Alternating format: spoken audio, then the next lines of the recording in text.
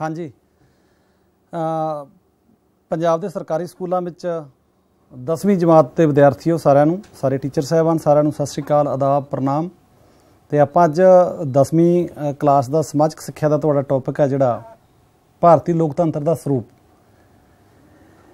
ਇਹਦੇ ਬਾਰੇ ਗੱਲ ਕਰਾਂਗੇ। ਸੋ ਬੱਚਿਓ, ਇਹ ਜਿਹੜਾ ਟੌਪਿਕ ਹੈ ਕਾਫੀ ਲੰਬਾ ਚੌੜਾ ਟੌਪਿਕ ਆ, ਤੇ ਇਸ ਨੂੰ ਇੱਕ ਦਿਨ ਦੇ ਵਿੱਚ ਕਰਨਾ ਵੀ ਪੋਸੀਬਲ ਨਹੀਂ। ਤੁਹਾਡੇ ਟੀਚਰ ਸਾਹਿਬਾਨ ਇਸ ਬਾਰੇ ਬੜੀ ਵਿਸਥਾਰ ਦੇ ਨਾਲ, ਬੜੀ ਡਿਟੇਲ ਦੇ ਨਾਲ ਤੁਹਾਡੇ ਨਾਲ ਜਿਹੜੀ ਹੈਗੇ ਚਰਚਾ ਕਰਦੇ ਨੇ। ਸੋ ਆਪਾਂ ਟੌਪਿਕ ਹੈ ਜਿਹੜਾ ਉਹ ਸ਼ੁਰੂ ਕਰਦੇ ਹਾਂ। ਸੋ ਜਿਵੇਂ ਕਿ ਅਸੀਂ ਜਾਣਦੇ ਹਾਂ, ਲੋਕਤੰਤਰ ਭਾਰਤ ਸਭ ਤੋਂ ਵੱਡਾ ਲੋਕਤੰਤਰ ਆ। ਲੋਕਤੰਤਰਕ ਦੇਸ਼ ਆ। ਤੇ ਵੱਖ-ਵੱਖ ਦੇਸ਼ਾਂ ਦੇ ਜਿਹੜੇ ਸਿਸਟਮ ਨੇ ਪੋਲੀਟੀਕਲ ਸਿਸਟਮ ਨੇ ਉੱਥੋਂ ਦੇ ਰਾਜਨੀਤਿਕ ਉਹ ਸੱਥੋਂ ਗਵਾਹੀ ਲੈਂਦੇ ਨੇ ਕਿ ਇਹਨਾਂ ਸਟੇਬਲ ਕੰਟੀਨਿਊ ਇਹਨਾਂ ਸ਼ਾਨਦਾਰ ਸਾਡਾ ਲੋਕਤੰਤਰ ਹੈ। ਸੋ ਲੋਕਤੰਤਰ ਦੇ ਵਿੱਚ ਜਦੋਂ ਅਸੀਂ ਫਾਰਮ ਆਫ ਗਵਰਨਮੈਂਟ ਦੀ ਗੱਲ ਕਰਦੇ ਹਾਂ, ਤਾਂ ਉਹਦੇ ਵਿੱਚ ਸਾਡੇ ਕੋਲੇ, ਸਾਡੇ ਦੇਸ਼ ਨੇ ਸੰਸਦੀ ਸ਼ਾਸਨ ਪ੍ਰਣਾਲੀ ਅਪਣਾਈ ਹੋਈ ਹੈ ਭਾਰਤੀ ਸੰਵਿਧਾਨ ਰਾਹੀਂ। ਸੰਵਿਧਾਨ ਤੁਹਾਨੂੰ ਛੋਟੀਆਂ ਕਲਾਸਾਂ ਵਿੱਚ ਹੀ ਪੜਾਇਆ ਜਾਂਦਾ ਹੈ, ਬੜੀਆਂ ਸਾਰੀਆਂ ਕਲਾਸਾਂ ਦੇ ਵਿੱਚ ਪ੍ਰਸ਼ਨ ਆਉਂਦਾ ਹੈ ਕਿ ਸੰਵਿਧਾਨ ਕੀ ਹੈ? ਸੰਵਿਧਾਨ ਕਾਨੂੰਨਾਂ ਦੀ ਕਿਤਾਬ ਹੈ ਜਾਂ ਕਾਨੂੰਨਾਂ ਦੀ ਕਿਤਾਬ ਨੂੰ ਸੰਵਿਧਾਨ ਕਿਹਾ ਜਾਂਦਾ ਹੈ, ਉਹ ਕਾਨੂੰਨ ਜਿਨ੍ਹਾਂ ਰਾਹੀਂ ਕਿਸੇ ਦੇਸ਼ ਦਾ ਸ਼ਾਸਨ ਆ ਜਿਹੜਾ, ਉਹ ਚਲਾਇਆ ਜਾਂਦਾ ਹੈ। ਸੋ ਤੁਸੀਂ ਦੇਖ ਰਹੇ ਹੋ, ਡਾਕਟਰ ਰਜਿੰਦਰ ਪ੍ਰਸਾਦ ਤੋਂ ਲੈ ਕੇ ਪ੍ਰੈਜ਼ੈਂਟਲੀ ਦ੍ਰੋਪਦੀ ਮੁਰਮੂ ਤੱਕ ਸਾਡੇ ਰਾਸ਼ਟਰਪਤੀ ਰਹੇ ਨੇ। ਬੜੀਆਂ ਜਿਹੜੀਆਂ ਹਸਤੀਆਂ ਰਹੀਆਂ ਨੇ ਇਹਨਾਂ ਦੇ ਵਿੱਚ, ਜਿਨ੍ਹਾਂ ਨੇ ਸਮੇਂ-ਸਮੇਂ ਤੇ ਸਾਡੇ ਦੇਸ਼ ਨੂੰ ਅਗਵਾਈ ਕੀਤੀ ਤੇ ਭਾਰਤ ਦਾ ਨਾਂ ਵਿਸ਼ਵ ਦੇ ਵਿੱਚ, ਭਾਰਤ ਦਾ ਕੱਦ ਆ ਜਿਹੜਾ, ਉਹ ਉੱਚਾ ਕੀਤਾ। ਹੁਣ ਜੇ ਅਸੀਂ ਗੱਲ ਕਰੀਏ ਕਿਉਂਕਿ ਸਾਡੇ ਦੇਸ਼ ਨੇ ਸੰਸਦੀ ਸ਼ਾਸਨ ਪ੍ਰਣਾਲੀ ਅਪਣਾਈ ਹੋਈ ਆ, ਸਾਡੇ ਲੋਕਤੰਤਰ ਦੇ ਵਿੱਚ, ਤਾਂ ਪ੍ਰਧਾਨ ਮੰਤਰੀ ਜਿਹੜਾ ਹੈ ਸਭ ਤੋਂ ਪਾਵਰਫੁਲ ਪੋਸਟ ਹੈ ਪ੍ਰਧਾਨ ਮੰਤਰੀ ਦੀ। ਸੋ ਪੰਡਤ ਜਵਾਹਰ ਲਾਲ ਨਹਿਰੂ ਸਾਡੇ ਪਹਿਲੇ ਪ੍ਰਧਾਨ ਮੰਤਰੀ ਸਨ ਤੇ ਉਸ ਤੋਂ ਬਿਨਾ ਹੁਣ ਜਿਹੜੇ ਵਰਤਮਾਨ ਦੇ ਵਿੱਚ ਸ਼੍ਰੀ ਨਰਿੰਦਰ ਮੋਦੀ ਜੀ ਸਾਡੇ ਪ੍ਰਧਾਨ ਮੰਤਰੀ ਨੇ 2014 ਦੇ ਵਿੱਚ ਉਹਨਾਂ ਨੇ ਜਿਹੜੀ ਸ਼ਬਦ ਲਈ ਪ੍ਰਧਾਨ ਮੰਤਰੀ ਦੀ ਤੇ ਦੂਜੀ ਵਾਰੀ ਫੇਰ ਆਮ ਚੋਣਾਂ ਦੇ ਵਿੱਚ ਜਿੱਤ ਕੇ 2019 ਦੇ ਵਿੱਚ ਉਹ ਦੁਬਾਰਾ ਕੰਟੀਨਿਊ ਨੇ ਤੇ ਭਾਰਤ ਵੱਖ-ਵੱਖ ਖੇਤਰਾਂ ਦੇ ਵਿੱਚ ਬੜੀ ਤਰੱਕੀ ਕਰ ਰਿਹਾ। ਸਾਇੰਸ ਦਾ ਹੋਵੇ ਟੈਕਨੋਲੋਜੀ ਦਾ, ਸੜਕਾਂ ਦਾ, ਹੋਰ ਕੰਮਾਂ ਦੇ ਵਿੱਚ ਭਾਰਤ ਨੇ ਵੱਡਾ ਦੇਸ਼ ਹੋਣ ਦੇ ਬਾਵਜੂਦ ਬੜੀ ਤਰੱਕੀ ਕੀਤੀ ਹੈ। ਤੇ ਇਹ ਸਾਡੇ ਦੇਸ਼ ਦੇ ਮਾਨੀ ਜਿਹੜੇ ਹੈਗੇ ਨੇ, ਪ੍ਰਧਾਨ ਮੰਤਰੀ ਰਹੇ ਨੇ ਸਮੇਂ-ਸਮੇਂ ਤੇ। ਇਹਨਾਂ ਸ਼ਖਸੀਅਤਾਂ ਨੇ ਵੀ ਆਪਾਂ ਜੇ ਵਿਸਤਾਰ ਨਾਲ ਗੱਲ ਕਰਾਂਗੇ ਤਾਂ ਕਾਫੀ ਟਾਈਮ ਲੱਗ ਜੂ, ਪਰ ਮੈਂ ਤੁਹਾਨੂੰ ਜ਼ਰੂਰ ਬੱਚਿਆਂ ਨੂੰ ਬੇਨਤੀ ਕਰੂੰਗਾ ਕਿ ਤੁਸੀਂ ਇਹਨਾਂ ਸ਼ਖਸੀਅਤਾਂ ਬਾਰੇ ਜ਼ਰੂਰ ਲੋਕਤੰਤਰ ਨੂੰ ਸਮਝਣ ਤੋਂ ਪਹਿਲਾਂ ਇਹਨਾਂ ਸ਼ਖਸੀਅਤਾਂ ਬਾਰੇ ਤੁਸੀਂ ਜ਼ਰੂਰ ਜਿਹੜਾ ਹੈਗਾ ਆਪਣੇ ਟੀਚਰ ਸਾਹਿਬਾਨ ਦੀ ਸਹਾਇਤਾ ਨਾਲ ਜਾਂ ਆਪਣੇ ਮਾਪਿਆਂ ਦੀ ਸਹਾਇਤਾ ਨਾਲ ਜਾਂ ਖੁਦ ਤੁਸੀਂ ਇਹਨਾਂ ਬਾਰੇ ਜ਼ਰੂਰ ਸਟੱਡੀ ਕਰੋ, ਚਾਰਟ ਬਣਾਓ, ਕੋਈ ਜਿਹੜਾ ਹੈਗਾ ਸਕ੍ਰੈਪ ਬੁੱਕ ਵਗੈਰਾ ਤਿਆਰ ਕਰੋ। ਸੋ ਹੁਣ ਆਪਾਂ ਜਿਹੜਾ ਹੈਗਾ ਕਨਸਟੀਟਿਊਸ਼ਨ ਦੀ ਗੱਲ ਹੋਈ ਆ ਸੰਵਿਧਾਨ ਦੀ ਗੱਲ ਹੋਈ ਆ ਲੈਜਿਸਲੇਟਿਵ ਉਹਦੇ ਵਿੱਚ ਐਗਜ਼ੀਕਿਊਟਿਵ ਆ, ਵਿਧਾਨ ਪਾਲਿਕਾ ਕਾਰਜਪਾਲਿਕਾ ਜੇ ਆਪਾਂ ਪੰਜਾਬੀ 'ਚ ਗੱਲ ਕਰੀਏ ਜੁਡੀਸ਼ੀਅਲ ਇੱਕ ਸੁਤੰਤਰ ਨਿਆਂਪਾਲਿਕਾ ਜਿਹੜੀ ਸਾਡੀ ਲੋਕਤੰਤਰ ਦੀ ਜਿੰਦ ਜਾਨ ਹੈ। ਸੋ ਬੱਚਿਓ, ਤੁਸੀਂ ਸਾਹਮਣੇ ਦੇਖ ਰਹੇ ਹੋ, ਲੋਕਤੰਤਰ ਦੀਆਂ ਆਪਾਂ ਕਹਿ ਲਈਏ ਦੋ ਮਹੱਤਵਪੂਰਨ ਇੱਕ ਸਾਡੇ ਕੋਲ ਏਜੰਸੀ ਆ, ਸਾਡੀ ਸੁਤੰਤਰ ਨਿਆਂਪਾਲਿਕਾ ਫੋਟੋ ਦੇਖ ਰਹੇ ਹੋ। ਦੇਸ਼ ਦੇ ਵੱਡੇ ਵੱਡੇ ਫੈਸਲੇ, ਉਹ ਭਾਵੇਂ ਸਰਕਾਰ ਦੀ ਵੀ ਉਲਟ ਕਿਉਂ ਨਾ ਦੇਣੇ ਪੈਣ ਇੱਕ ਨਿਆਂ ਵਾਸਤੇ ਸਾਡੀ ਸਭ ਤੋਂ ਵੱਡੀ ਜਿਹੜੀ ਸੁਪਰੀਮ ਸੁਪਰੀਮ ਕੋਰਟ ਤੇ ਇੱਕ ਸਾਡੀ ਜਿਹੜੀ ਸਾਨੂੰ ਰੋਸ਼ਨੀ ਦਿੰਦਾ ਸਾਡੇ ਦੇਸ਼ ਦੇ ਲੋਕਤੰਤਰ ਦੇ ਵਿੱਚ, ਲੋਕਤੰਤਰ ਨੂੰ ਚਲਾਉਣ ਦੇ ਲਈ, ਲੋਕਤੰਤਰ ਨੂੰ ਮਜ਼ਬੂਤ ਕਰਨ ਦੇ ਲਈ, ਲੋਕਤੰਤਰ ਦੀ ਸਥਿਰਤਾ ਲਈ ਕਨਸਟੀਟਿਊਸ਼ਨ ਆਫ ਇੰਡੀਆ ਭਾਰਤ ਦਾ ਸੰਵਿਧਾਨ, ਜਿਹਦੇ ਵਿੱਚ ਸਾਡੀਆਂ ਦੋ ਸ਼ਖਸੀਅਤਾਂ ਤੁਸੀਂ ਸ਼ੁਰੂ ਤੋਂ ਪੜ੍ਹਦੇ ਹੋ, ਪੰਡਤ ਜਵਾਹਰ ਲਾਲ ਨਹਿਰੂ, ਜੋ ਕਿ ਸੰਵਿਧਾਨ ਸਭਾ ਦੇ ਚੇਅਰਮੈਨ ਸਨ, ਤੇ ਸਾਡੇ ਬੀ ਆਰ ਅੰਬੇਦਕਰ ਜੀ ਭੀਮ ਰਾਓ ਅੰਬੇਦਕਰ ਜੀ, ਉਹਨਾਂ ਨੇ ਜੋ ਸਾਡੇ ਖਰੜਾ ਕਮੇਟੀ ਸੀ ਡਰਾਫਟ ਕਮੇਟੀ ਸੀ, ਉਹਦੇ ਚੇਅਰਮੈਨ ਸੀ, ਸਮੇਂ-ਸਮੇਂ ਤੇ ਨਿਯਮ, ਸਮੇਂ-ਸਮੇਂ ਤੇ ਕਾਨੂੰਨ ਲਿਖੇ ਗਏ ਔਰ ਉਹ ਜਿਹੜੇ ਸੰਵਿਧਾਨ ਦੀਆਂ ਵਿਸ਼ੇਸ਼ਤਾਵਾਂ ਦੇ ਵਿੱਚ ਵੀ ਤੁਸੀਂ ਡਿਸਕਸ ਕਰਦੇ ਰਹਿੰਦੇ ਹੋ ਕਿ ਜਿਹੜਾ ਹੈਗਾ ਸਾਡਾ ਸੰਵਿਧਾਨ ਕਠੋਰ ਆ, ਲਚਕੀਲਾ, ਲਿਖਤੀ ਆ, ਸਾਡੇ ਸੰਵਿਧਾਨ ਦੇ ਵਿੱਚ ਜਿਹੜਾ ਹੈਗਾ ਵੱਖ-ਵੱਖ ਜਿਹੜੇ ਦੇਸ਼ਾਂ ਦੇ, ਦੇਸ਼ਾਂ ਤੋਂ ਲਿਆ ਹੋਇਆ ਸੰਵਿਧਾਨ ਆ, ਇਹਦੇ ਵਿੱਚ ਮੌਲਿਕ ਜਿਹੜੇ ਸਾਡੇ ਅਧਿਕਾਰ ਵੀ ਨੇ, ਕਰਤੱਵ ਵੀ ਨੇ, ਦੇਸ਼ ਭਗਤੀ ਵੀ ਆ, ਤਾਂ ਉਹ ਚੀਜ਼ਾਂ ਸਾਰੀਆਂ ਸਾਡੀਆਂ ਜਿਹੜਾ ਸਨਮਾਨਜਨਕ ਸਾਡਾ ਕਨਸਟੀਟਿਊਸ਼ਨ ਆਫ ਇੰਡੀਆ ਉਹਦੇ ਵਿੱਚ ਸਾਰਾ ਦਰਜ ਹੈ। ਸੋ ਆਓ ਆਪਾਂ ਹੁਣ ਪਾਠ ਵੱਲ ਵਧਦੇ ਹਾਂ। ਸੋ ਜਦੋਂ ਅਸੀਂ ਅੱਜ ਦੇ ਚੈਪਟਰ ਦੀ ਤੁਹਾਡੇ ਨਾਲ ਮੈਂ ਗੱਲ ਸਾਂਝੀ ਕਰਨ ਲੱਗਿਆ ਲੋਕਤੰਤਰ ਦੇ ਸ਼ਬਦੀ ਅਰਥਾਂ ਦੀ ਆਪਾਂ ਬੱਚਿਓ ਗੱਲ ਕਰਦੇ ਆਂ ਤਾਂ ਲੋਕਤੰਤਰ ਨੂੰ ਅੰਗਰੇਜ਼ੀ ਵਿੱਚ ਡੈਮੋਕ੍ਰੇਸੀ ਕਿਹਾ ਜਾਂਦਾ ਹੈ। ਡੈਮੋਕ੍ਰੇਸੀ ਗ੍ਰੀਕ ਭਾਸ਼ਾ ਦੇ, ਗ੍ਰੀਕ ਭਾਸ਼ਾ ਦੇ ਦੋ ਸ਼ਬਦਾਂ ਦਾ ਸੁਮੇਲ ਹੈ, ਉਹਨਾਂ ਦਾ ਜੋੜ ਹੈ, ਜਿਸ ਦੇ ਵਿੱਚ ਡਿਮੋਸ, ਤੋਂ ਭਾਵ ਲੋਕ, ਤੇ ਕ੍ਰੇਟੀਆ, ਤੋਂ ਭਾਵ ਸ਼ਾਸਨ, ਭਾਵ ਲੋਕਾਂ ਦਾ ਸ਼ਾਸਨ। ਤੇ ਜੇ ਅਸੀਂ ਵੈਸੇ ਵੀ ਪੰਜਾਬੀ ਦੇ ਵਿੱਚ ਵੀ ਗੱਲ ਕਰੀਏ ਬੱਚਿਓ ਲੋਕਤੰਤਰ ਦੀ ਤਾਂ ਲੋਕਤੰਤਰ ਜਿਹੜਾ ਹੈ ਲੋਕ ਮੀਨਜ ਪਰਜਾ ਸਾਡੀ ਜਨਤਾ ਆਵਾਮ ਤੇ ਤੰਤਰ ਹੁੰਦਾ ਸਾਡੇ ਕੋਲੇ ਸ਼ਾਸਨ ਤੇ ਲੋਕਾਂ ਦਾ ਜਿਹੜਾ ਸ਼ਾਸਨ ਆ ਉਹ ਸਾਡੇ ਕੋਲੇ ਲੋਕਤੰਤਰ ਹੈ। ਜਾਂ ਅਸੀਂ ਜਦੋਂ ਅਹ, ਬੱਚਿਓ ਲੋਕਤੰਤਰ ਦੀ ਪਰਿਭਾਸ਼ਾ ਦੀ ਗੱਲ ਕਰਦੇ ਆ ਤਾਂ ਤੁਸੀਂ ਸਾਰਿਆਂ ਨੇ ਸੁਣੀ ਹੋਊਗੀ ਕਿ democracy is the government by the people for the people of the people said by Abraham Lincoln ਜੋ ਕਿ ਸਾਡੇ ਅਮਰੀਕਾ ਦੇ ਬੜੇ ਹਰਮਨ ਪਿਆਰੇ ਰਾਸ਼ਟਰਪਤੀ ਰਹੇ, ਉਹਨਾਂ ਦੀ ਪਰਿਭਾਸ਼ਾ ਸੀ। ਪੰਜਾਬੀ ਦੇ ਵਿੱਚ ਜੇ ਅਸੀਂ ਇਸ ਦੀ ਗੱਲ ਕਰੀਏ ਕਿ ਲੋਕਤੰਤਰ ਸਰਕਾਰ ਲੋਕਾਂ ਲਈ, ਲੋਕਾਂ ਦੁਆਰਾ ਤੇ ਲੋਕਾਂ ਲਈ, ਲੋਕਾਂ ਦੁਆਰਾ ਤੇ ਲੋਕਾਂ ਵੱਲੋਂ ਬਣਾਈ ਜਾਂਦੀ ਆ। ਤੇ ਭਾਵ ਕੀ ਆ ਵੀ ਜਿਹੜੀ ਜਾਂ ਅਸੀਂ ਕਹਿ ਲਈਏ ਹੋਰ ਵਿਦਵਾਨਾਂ ਨੇ ਲੋਕਤੰਤਰ ਦੀ ਪਰਿਭਾਸ਼ਾ ਦਿੱਤੀ ਹੈ ਕਿ ਉਹ ਸਰਕਾਰ ਜਿਹਦੇ ਵਿੱਚ ਲੋਕਾਂ ਨੂੰ ਸਾਰੇ ਸਰਪੱਖੀ ਮੌਕੇ ਮੁਹੱਈਆ ਕਰਾਏ ਜਾਂਦੇ ਨੇ। ਜਿਵੇਂ ਤੁਹਾਡੇ ਲਈ ਸਕੂਲ ਆ ਪੜ੍ਹਨ ਲਈ, ਤੁਸੀਂ ਸਰਕਾਰੀ ਸਕੂਲਾਂ 'ਚ ਪੜ੍ਹ ਰਹੇ ਹੋ। ਅਧਿਆਪਕ ਨੇ ਇਹ ਸਾਰਾ ਕੁਝ ਪਾਰਟ ਆਫ ਡੈਮੋਕ੍ਰੇਸੀ ਆ ਤੇ ਇਹਦੇ ਵਿੱਚ ਸਿਹਤ ਸਹੂਲਤਾਂ, ਸਾਰੀਆਂ ਆਪਾਂ ਜਿਹੜੀਆਂ ਇੱਕ ਮਨੁੱਖ ਦੇ ਸਰਪੱਖੀ ਵਿਕਾਸ ਨਾਲ ਜੁੜੀਆਂ ਹੋਈਆਂ ਚੀਜ਼ਾਂ ਨੇ, ਉਹ ਸਾਰੀਆਂ ਚੀਜ਼ਾਂ ਡੈਮੋਕ੍ਰੇਸੀ ਵੱਲੋਂ ਮੁਹੱਈਆ ਕਰਵਾਈਆਂ ਜਾਂਦੀਆਂ ਨੇ। ਸੋ ਡੈਮੋਸ ਪਲੱਸ ਕ੍ਰੇਟੀਆ ਲੋਕਾਂ ਦਾ ਸ਼ਾਸਨ।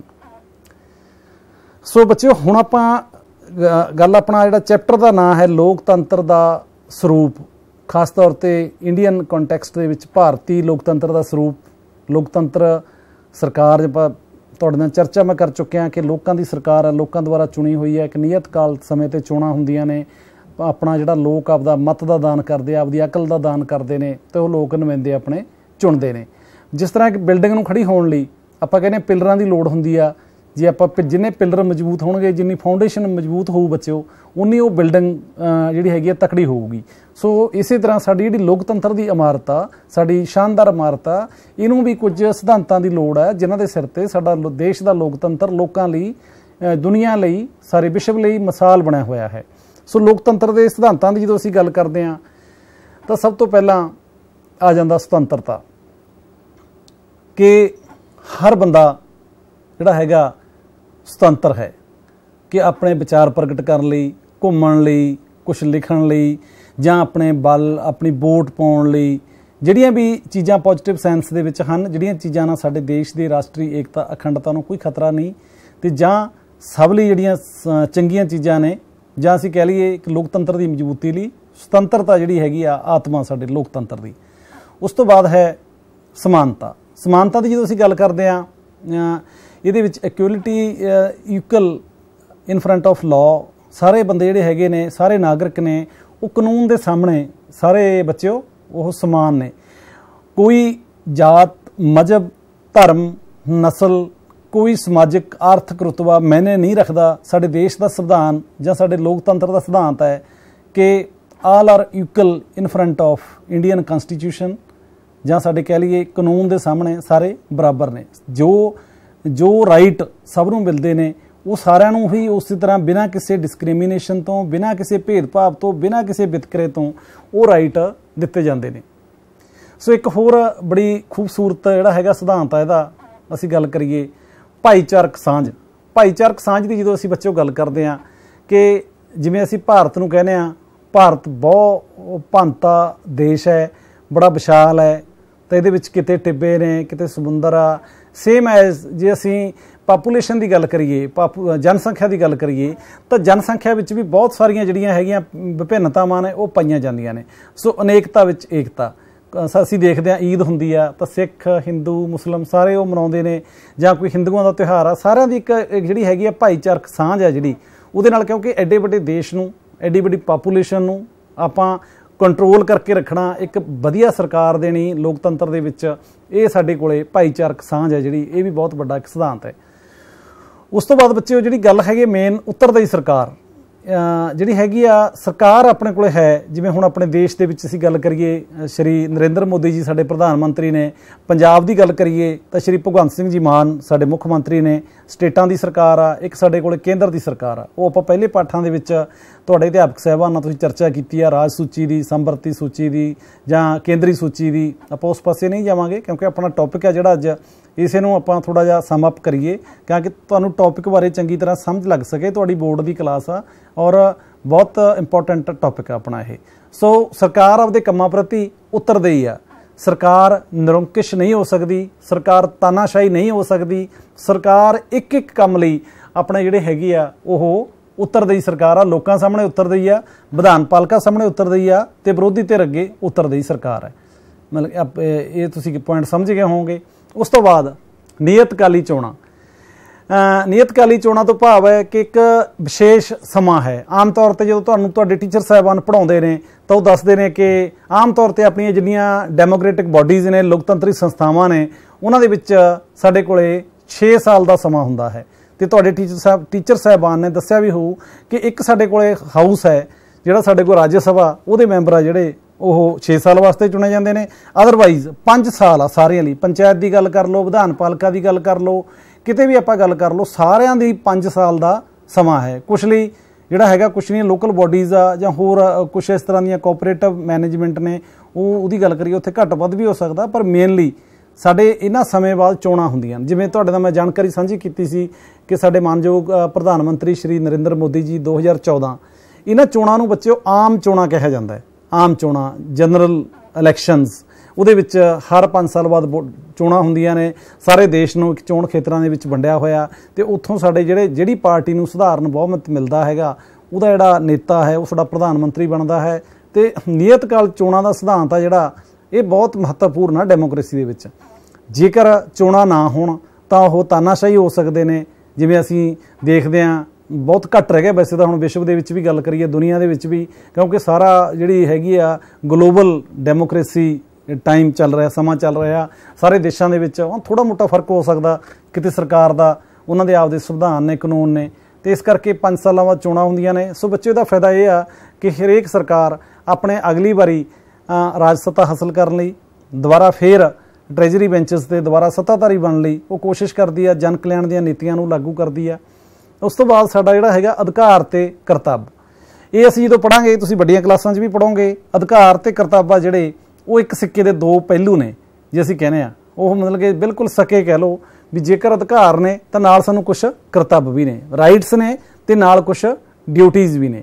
ਸੋ ਜੋ ਅਸੀਂ ਇਹਨਾਂ ਦਾ ਸਹੀ, ਜੇ ਅਸੀਂ ਇਕੱਲੇ ਅਧਿਕਾਰਾਂ ਨੂੰ ਇੰਜੋਏ ਕਰਾਂਗੇ ਤੇ ਕਰਤੱਵਾਂ ਦਾ ਪਾਲਣ ਨਹੀਂ ਕਰਾਂਗੇ, ਤਾਂ ਅਰਾਜਕਤਾ ਫੈਲ ਜੂਗੀ ਸੁਭਾਵਿਕ ਹੈ, ਕੁਦਰਤੀ ਆ ਜੇਕਰ ਅਸੀਂ ਨਾਲ ਕਰਤੱਵਾਂ ਦਾ ਪਾਲਣ ਵੀ ਕਰਾਂਗੇ, ਅਧਿਕਾਰਾਂ ਨੂੰ ਵੀ ਮੰਨਾਂਗੇ ਤਾਂ ਅਸੀਂ ਕੀ ਆ ਇੱਕ ਬਹੁਤ ਸ਼ਾਨਦਾਰ ਨਾਗਰਿਕ ਵੀ ਹੋਵਾਂਗੇ ਤੇ ਸਾਡਾ ਦੇਸ਼ ਆ ਜਿਹੜਾ, ਉਹ ਵੀ ਇੱਕ ਬੜਾ ਸ਼ਾਂਤੀਮਈ ਤੇ ਵਧੀਆ ਤਰੀਕੇ ਨਾਲ ਹੋ ਸਕਦਾ ਸੋ ਅਧਿਕਾਰ ਤੇ ਕਰਤੱਵ। ਨਾਗਰਿਕਾਂ ਦੇ ਅਧਿਕਾਰ ਨੇ ਤੇ ਸੇਮ ਐਜ ਉਹਨਾਂ ਦੇ ਕਰਤੱਵ ਨੇ। ਉਸ ਤੋਂ ਬਾਅਦ ਜਿਵੇਂ ਤੁਹਾਨੂੰ ਫੋਟੋ ਦਿਖਾਈ ਸੀ, ਸਾਡੇ ਮਾਨਯੋਗ ਸੁਪਰੀਮ ਕੋਰਟ ਰਾਜਾਂ ਦੇ ਵਿੱਚ ਇਸੇ ਤਰ੍ਹਾਂ ਨਾਲ ਹੀ ਜਿਹੜੀ ਹੈਗੀ ਆ ਹਾਈ ਕੋਰਟ ਹੈ। ਸੋ ਸੁਤੰਤਰ ਨਿਆਂਪਾਲਿਕਾ ਕਾਨੂੰਨ ਦੇ ਸਾਹਮਣੇ ਜਿਹੜੇ ਸਾਰੇ ਲੋਕ ਨੇ, ਉਹ ਇੱਕ ਨੇ।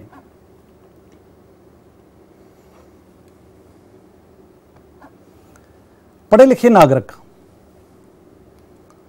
ਜਿਹੜਾ ਐਜੂਕੇਸ਼ਨ ਆ, ਇਹ ਵੀ ਮੋਸਟ ਇੰਪੋਰਟੈਂਟ ਆ। ਪੜ੍ਹਾਈ ਲਿਖਾਈ ਬਹੁਤ ਜ਼ਿਆਦਾ ਜ਼ਰੂਰੀ ਹੈ। ਪੜ੍ਹਿਆ ਲਿਖਿਆ ਨਾਗਰਿਕ ਹੀ ਜਿਹੜਾ ਹੈਗਾ ਆਪਣੇ ਵੋਟ ਦਾ ਚੰਗੀ ਤਰ੍ਹਾਂ ਵਰਤੋਂ ਕਰ ਸਕਦਾ ਹੈ। ਆਰਥਿਕ, ਰਾਜਨੀਤਿਕ ਤੇ ਸਮਾਜਿਕ ਸਮਾਨਤਾ। ਸਾਰੇ ਜਿਹੜੇ ਨਾਗਰਿਕ ਨੇ, ਉਹ ਸਾਰਿਆਂ ਦੇ ਵਿੱਚ ਸਮਾਨਤਾ ਹੋਣੀ ਜ਼ਰੂਰੀ ਹੈ। ਨਿਰਪੱਖ ਤੇ ਨਿਡਰ ਮੀਡੀਆ।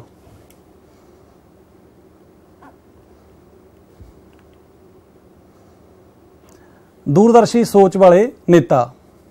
ਨੇਤਾ ਵੀ ਜਿਹੜੇ ਸਾਡੇ ਹੈਗੇ ਨੇ, ਉਹਨਾਂ ਦੀ ਸੋਚ ਹੈ ਜਿਹੜੀ, ਉਹ ਅੱਛੀ ਹੋਣੀ ਚਾਹੀਦੀ ਹੈ, ਦੂਰਦਰਸ਼ੀ ਹੋਣੀ ਚਾਹੀਦੀ ਹੈ। ਸੰਗਠਿਤ ਰਾਜਨੀਤਿਕ ਦਲ। ਰਾਜਨੀਤਿਕ ਦਲ ਆ ਜਿਹੜੇ, ਉਹ ਡੈਮੋਕ੍ਰੇਸੀ ਦਾ ਵਿੱਚੋਂ ਮਾਧਵ ਨੇ। ਤੇ ਉਹਨਾਂ ਦਾ ਜਿਹੜਾ ਹੈਗਾ, ਉਹਨਾਂ ਰਾਹੀਂ ਸਰਕਾਰਾਂ ਬਣਦੀਆਂ ਨੇ ਤੇ ਉਹਨਾਂ ਰਾਹੀਂ ਹੀ ਜਿਹੜੀਆਂ ਸਾਡੇ ਦੇਸ਼ ਦੀਆਂ ਨੀਤੀਆਂ ਨੇ, ਉਹ ਲਾਗੂ ਹੁੰਦੀਆਂ ਨੇ। ਸੁਤੰਤਰ ਨਿਆਂ ਪਾਲਿਕਾ ਦਾ ਆਪਾਂ ਡਿਸਕਸ ਕਰ ਹੀ ਲਿਆ। ਉਹਦੇ ਵਿੱਚ ਆਪਾਂ ਦੇਖ ਲਿਆ ਕਿ ਸਾਰੇ ਕਾਨੂੰਨ ਦੇ ਸਾਹਮਣੇ ਸਮਾਨ ਨੇ। ਭਾਰਤੀ ਲੋਕਤੰਤਰ ਦੀ ਸਫਲਤਾ ਲਈ ਜ਼ਰੂਰੀ ਸ਼ਰਤਾਂ ਜਾਂ ਆਪਾਂ ਕਹਿ ਲਈਏ ਉਹਦੇ ਵਿੱਚ ਅਨੇਕਤਾ ਦੇ ਵਿੱਚ ਏਕਤਾ ਹੈ ਕਿ ਸਾਡੇ ਕੋਲੇ ਭਾਵੇਂ ਬਹੁਤ ਸਾਰੇ, ਪਹਿਲਾਂ ਮੈਂ ਗੱਲ ਕਰਕੇ ਟਾਈਮ ਤੁਹਾਡੇ ਨਾਲ, ਬਹੁਤ ਧਰਮੀ, ਬਹੁਤ ਨਸਲੀ ਉਹਦੇ ਵਿੱਚ ਜਿਹੜਾ ਹੈਗਾ ਕਾਫੀ ਕੁਝ ਹੈਗਾ, ਪਰ ਫਿਰ ਵੀ ਅਸੀਂ ਇੱਕ ਭਾਰਤੀ ਹੋਣ ਦੀ ਮਾਲਾ ਦੇ ਵਿੱਚ ਬੱਚਿਓ ਪਰੋਏ ਹੋਏ ਆ ਸਾਨੂੰ ਸਭ ਤੋਂ ਪਹਿਲਾਂ ਗਰਵ ਆ ਕਿ ਅਸੀਂ ਭਾਰਤੀ ਆ ਜੇ ਅਸੀਂ ਪੰਜਾਬੀ ਆ ਤਾਂ ਅਸੀਂ ਇਹ ਨਹੀਂ ਕਹਿੰਦੇ ਕਿ ਅਸੀਂ ਪੰਜਾਬੀ ਆ ਅਸੀਂ ਪੰਜਾਬੀ ਬਾਅਦ ਚ ਆ ਜਾਂ ਅਸੀਂ ਹਰਿਆਣਵੀ ਬਾਅਦ ਚ ਆ ਗੁਜਰਾਤੀ ਬਾਅਦ ਚ ਆ ਪਹਿਲਾਂ ਭਾਰਤੀ ਹਾਂ। ਸੋ ਅਨੇਕਤਾ ਦੇ ਵਿੱਚ ਜਿਹੜੀ ਹੈਗੀ ਆ, ਏਕਤਾ ਸਾਡੇ ਲੋਕਤੰਤਰ ਦੀ ਸਫਲਤਾ ਲਈ ਜ਼ਰੂਰੀ ਸ਼ਰਤ ਹੈ। ਉਸ ਤੋਂ ਬਾਅਦ ਸਥਿਰ ਲੋਕਤੰਤਰ। ਸਥਿਰ ਲੋਕਤੰਤਰ ਦੇ ਵਿੱਚ ਕੀ ਹੈ? ਕਿ ਸਾਡੇ ਕੋਲੇ, ਜਿਵੇਂ ਅਸੀਂ ਸਾਡੇ ਗਵਾਂਢੀ ਦੇਸ਼ ਪਾਕਿਸਤਾਨ ਦੀ ਗੱਲ ਕਰ ਲਈਏ, ਤਾਂ ਉੱਥੇ ਤੁਸੀਂ ਦੇਖਦੇ ਹੋ ਅਖਬਾਰਾਂ 'ਚ ਪੜ੍ਹਦੇ ਹੋਵੋਗੇ, ਤੁਸੀਂ ਮਾਰਨਿੰਗ ਅਸੈਂਬਲੀ ਦੇ ਵਿੱਚ ਖਬਰਾਂ ਵੀ ਪੜ੍ਹਦੇ ਹੋਵੋਗੇ, ਸਰਕਾਰਾਂ ਬਣਦੀਆਂ ਨੇ, ਟੁੱਟਦੀਆਂ ਨੇ, ਕਦੇ ਰਾਜ ਪਲਟਾ ਹੋ ਗਿਆ, ਪਰ ਸਾਡੇ ਦੇਸ਼ ਦੇ ਵਿੱਚ ਅਜਿਹਾ ਕੁਝ ਨਹੀਂ ਹੋਇਆ। ਜੇਕਰ ਕੋਈ ਸਰਕਾਰ ਲੋਕ ਸਭਾ ਦੇ ਵਿੱਚ ਘੱਟ ਗਿਣਤੀ ਦੇ ਵਿੱਚ ਚਲੀ ਜਾਂਦੀ ਆ, ਤਾਂ ਉਹ ਬਕਾਇਦਾ ਜਿਹੜੀ ਸਰਕਾਰ ਆ ਜਾਂ ਸਾਡੀ ਲੋਕ ਸਭਾ ਨੂੰ ਭੰਗ ਕਰਕੇ ਦੁਬਾਰਾ ਇਲੈਕਸ਼ਨ ਕਰਾਈ ਜਾਂਦੀ ਆ। ਇਲੈਕਸ਼ਨ ਤੋਂ ਬਾਅਦ ਜਿਹੜੀ ਪਾਰਟੀ ਦੀ ਫਿਰ ਸਰਕਾਰ ਆਉਂਦੀ ਆ ਉਹ ਦੁਬਾਰੇ ਸਥਿਰ ਸਰਕਾਰ ਦਿੰਦੀ ਆ 5 ਸਾਲ ਦੇ ਲਈ। ਉਸ ਤੋਂ ਬਾਅਦ ਜਿਹੜੀ ਗੱਲ ਹੈ ਧਰਮ ਨਿਰਪੱਖਤਾ। India is the secular state Bharat ਆ ਜਿਹੜਾ, ਉਹ ਇੱਕ ਧਰਮ ਨਿਰਪੱਖ ਦੇਸ਼ ਆ। ਸੋ ਭਾਰਤ ਦਾ ਆਪਣਾ ਕੋਈ ਧਰਮ ਨਹੀਂ। ਸਾਡਾ ਨਾ ਕੋਈ ਵੀ ਨਾਗਰਿਕ ਫਰੀ ਆ, ਉਹ ਧਰਮ ਨੂੰ ਨਾ ਮੰਨੇ, ਕਿਸੇ ਧਰਮ ਨੂੰ ਮੰਨੇ, ਤਾਂ ਸਰਕਾਰ ਦਾ ਉਹਦੇ ਵਿੱਚ ਕੋਈ ਕਿਸੇ ਤਰ੍ਹਾਂ ਦਾ, ਕਿਸੇ ਤਰ੍ਹਾਂ ਦਾ ਵੀ ਕੋਈ ਦਖਲਦਾਜੀ ਜਿਹੜੀ ਹੈਗੀ ਆ, ਉਹ ਨਹੀਂ ਹੈ। ਸੋ ਧਰਮ ਨਿਰਪੱਖਤਾ ਦੇ ਨਾਲ ਸਾਡੇ ਜਿਹੜੇ ਦੇਸ਼ ਦੇ ਲੋਕ ਨੇ, ਉਹ ਸਾਰੇ ਐ ਸਮਝਦੇ ਆ ਕਿ ਸਾਨੂੰ ਸਰਕਾਰ ਦੀ ਪੂਰੀ ਪੁਸ਼ਤ ਬਣਾਈ ਆ, ਸਰਕਾਰ ਸਾਡੇ ਨਾਲ ਆ। ਸੋ ਐਂਡ ਤੇ ਜੇ ਅਸੀਂ ਗੱਲ ਕਰੀਏ, ਕੁਝ ਕੁ ਊਣਤਾਈਆਂ ਦੇ ਬਾਵਜੂਦ, ਦੇਖੋ ਕੋਈ ਵੀ ਆਪਣਾ ਜਿਵੇਂ ਆਪਾਂ ਤੁਹਾਡੇ ਨਾਲ ਗੱਲ ਮੈਂ ਸਾਂਝੀ ਕਰਕੇ ਹਟਿਆ ਕਿ ਸਾਡਾ ਜਿਹੜਾ ਦੇਸ਼ ਆ, ਬਹੁਤ ਵੱਡਾ ਦੇਸ਼ ਆ, ਬਹੁਤ ਧਰਮੀ, ਬਹੁਤ ਨਸਲੀ ਤੇ ਜਿਹੜਾ ਬਹੁਤ ਖੇਤਰੀ ਦੇਸ਼ ਆ, ਤਾਂ ਉਹਦੇ ਵਿੱਚ ਸੁਭਾਵਕ ਆ ਕਿ ਜਦੋਂ ਇੰਨੇ ਦੇਸ਼ ਨੂੰ ਆਪਾਂ ਇੱਕ ਇੱਕ ਸਰਕਾਰ ਦੇਣੀ ਹੈ ਸੈਂਟਰ ਦੀ, ਜਾਂ ਅਸੀਂ ਉਹਨਾਂ ਨੂੰ ਕੋਈ ਸਿਸਟਮ ਆਰਗੇਨਾਈਜੇਸ਼ਨ ਦੇਣੀ ਆ, ਤਾਂ ਉਹਦੇ ਵਿੱਚ ਕੁਝ ਨਾ ਕੁਝ ਘਾਟਾਂ ਰਹਿ ਜਾਂਦੀਆਂ ਨੇ। ਸੋ ਕੁਝ ਕੁ ਮਾੜੀਆਂ ਮੋਟੀਆਂ 19 21 ਉਣਤਾਈਆਂ ਦੇ ਬਾਵਜੂਦ ਭਾਰਤੀ ਲੋਕਤੰਤਰ ਸਾਡੇ ਗੌਰਵ ਕਰਨ ਦੇ ਯੋਗ ਹੈ। ਅਸੀਂ ਇਸ ਗੱਲ ਤੇ ਮਾਣ ਕਰ ਸਕਦੇ ਹਾਂ ਕਿ ਅਸੀਂ ਭਾਰਤੀ ਆ ਕਿ ਸਾਡੇ ਅਸਲ ਅਰਥਾਂ ਦੇ ਵਿੱਚ ਕੀ ਆ? ਸਵਰਾਜ ਹੈ। ਸਵਰਾਜ ਬੱਚਿਓ, ਕੀ ਹੁੰਦਾ? ਸਵੈ ਰਾਜ। ਕਿ ਸਾਡਾ ਆਪਣੇ ਆਪ ਦੇ ਉੱਪਰ ਰਾਜ। ਲੋਕਤੰਤਰ ਦੇ ਵਿੱਚ ਆਪੋ ਆਪਣੇ ਉੱਪਰ ਆਪਣੇ ਰਾਜ ਤੋਂ ਭਾਵ ਕੀ ਆ ਕਿ ਅਸੀਂ ਆਪਣੀ ਮਤ ਦਾ ਦਾਨ ਕਰਦੇ ਆ ਵੋਟ ਪਾਉਨੇ ਆ ਤਾਂ ਅਸੀਂ ਆਪਦੇ ਨੁਮਾਇੰਦੇ ਚੁਣਦੇ ਆ ਉਹ ਨੁਮਾਇੰਦੇ ਇਨਡਾਇਰੈਕਟਲੀ ਸਾਡੇ ਜਿਹੜੇ ਹੈਗੇ ਨੇ ਸਾਨੂੰ ਕੀ ਕਰਦੇ ਨੇ ਜਿਹੜਾ ਹੈਗਾ ਅਗਵਾਈ ਕਰਦੇ ਨੇ ਤੇ ਸਰਕਾਰ ਦੇ ਵਿੱਚ ਬੈਠਦੇ ਨੇ ਤੇ ਸਾਡੀ ਜਿਹੜੀ ਮਤ ਆ ਜਾਂ ਸਾਡੀ ਅਕਲ ਆ, ਉਹਦੇ ਮੁਤਾਬਕ ਜਿਹੜੀਆਂ ਚੀਜ਼ਾਂ ਅਸੀਂ ਚਾਹੁੰਦੇ ਆ ਉਹਨਾਂ ਦੀ ਪੂਰਤੀ ਕਰਦੇ ਨੇ। ਹੁਣ ਆਪਾਂ ਗੱਲ ਕਰੀਏ ਵਿਸ਼ੇਸ਼ਤਾਵਾਂ ਦੀ। ਵਿਸ਼ੇਸ਼ਤਾਵਾਂ ਦੀ ਗੱਲ ਕਰਨ ਤੋਂ ਪਹਿਲਾਂ ਮੈਂ ਤੁਹਾਡੇ ਨਾਲ ਜ਼ਰੂਰ ਇੱਕ ਗੱਲ ਸਾਂਝੀ ਕਰਨੀ ਚਾਹੂੰਗਾ ਕਿ ਲੋਕਤੰਤਰ ਦੀ ਜਿੱਥੇ ਆਪਾਂ ਡੈਫੀਨੇਸ਼ਨ ਦੀ ਗੱਲ ਕੀਤੀ ਸੀ, ਪਰਿਭਾਸ਼ਾ ਦੀ ਗੱਲ ਕੀਤੀ ਸੀ, ਅਰਥਾਂ ਦੀ ਗੱਲ ਕੀਤੀ ਸੀ, ਉੱਥੇ ਸਾਡੇ ਕੋਲੇ ਭਾਰਤੀ ਲੋਕਤੰਤਰ, ਜਦੋਂ ਅਸੀਂ ਲੋਕਤੰਤਰ ਦੀ ਗੱਲ ਕਰਦੇ ਹਾਂ, ਲੋਕਤੰਤਰ ਦੋ ਤਰ੍ਹਾਂ ਦਾ ਹੁੰਦਾ। ਇੱਕ ਪ੍ਰਤੱਖ ਲੋਕਤੰਤਰ, ਇੱਕ ਅਪ੍ਰਤੱਖ ਲੋਕਤੰਤਰ। ਜਿਹੜਾ ਪ੍ਰਤੱਖ ਲੋਕਤੰਤਰ ਆ, ਉਹਦੇ ਵਿੱਚ ਕੀ ਆ? ਲੋਕ ਸਿੱਧਾ ਰਾਜ ਆਪ ਕਰਦੇ ਨੇ, ਜਿਹੜਾ ਅਪ੍ਰਤੱਖ ਆ। ਇੰਗਲਿਸ਼ ਦੇ ਵਿੱਚ ਅਸੀਂ ਗੱਲ ਕਰਾਂਗੇ ਡਾਇਰੈਕਟਲੀ ਤੇ ਇਨਡਾਇਰੈਕਟਲੀ ਜਿਹੜਾ ਹੈਗਾ ਸਾਡੇ ਕੋਲੇ ਡੈਮੋਕ੍ਰੇਸੀ ਆ। ਤਾਂ ਉਹਦੇ ਵਿੱਚ ਜਿਹੜਾ ਹੈਗਾ ਅੱਜ ਕੱਲ ਵੱਡੇ ਜਿਹੜੀਆਂ ਸਟੇਟਾਂ ਨੇ, ਪਹਿਲਾਂ ਹੁੰਦਾ ਸੀ ਵੀ ਆਬਾਦੀ ਘੱਟ ਹੁੰਦੀ ਸੀ। ਕੋਈ ਅੰਸ਼ਕ ਤੌਰ ਤੇ ਸਵਿਟਜ਼ਰਲੈਂਡ ਵਗੈਰਾ, ਜਿਹੜੇ ਛੋਟੇ ਦੇਸ਼ ਸੀ, ਉਹਨਾਂ ਦੇ ਵਿੱਚ ਲਾਗੂ ਸੀ ਵੀ ਕਿਤੇ ਨਾ ਕਿਤੇ ਇਨਡਾਇਰੈਕਟ ਡੈਮੋਕ੍ਰੇਸੀ ਪਰ ਅੱਜ ਕੀ ਆ? ਇਨਡਾਇਰੈਕਟਰੀ ਡੈਮੋਕ੍ਰੇਸੀ ਆ, ਅਪਰਤੱਖ ਡੈਮੋਕ੍ਰੇਸੀ ਆ ਜਿਹੜੀ ਲੋਕਤੰਤਰ ਆ, ਉਹਦਾ ਯੁੱਗ ਆ। ਉਹਦੇ ਵਿੱਚ ਭਾਵ ਕੀ ਆ? ਕਿ ਉਹ ਨੁਮਾਇੰਦੇ ਅਸੀਂ ਚੁਣਦੇ ਆ ਆਪਦੇ ਵੋਟਾਂ ਪਾਉਨੇ ਆ ਪੋਲਿੰਗ ਬੂਥ ਤੇ ਜਾ ਕੇ ਇਹ ਅਪਰਤੱਖ ਤੌਰ ਤੇ ਅਸੀਂ ਆਪਦੇ ਨੁਮਾਇੰਦੇ ਚੁਣਦੇ ਆ ਤੇ ਉਹ ਫਿਰ ਸਾਡੀ ਆਵਾਜ਼ ਬਣਦੇ ਨੇ। ਸੋ ਹੁਣ ਭਾਰਤੀ ਲੋਕਤੰਤਰ ਦੀਆਂ ਵਿਸ਼ੇਸ਼ਤਾਵਾਂ ਦੀ ਸਲਾਈਡ ਤੁਹਾਡੇ ਬਿਲਕੁਲ ਸਾਹਮਣੇ ਆ।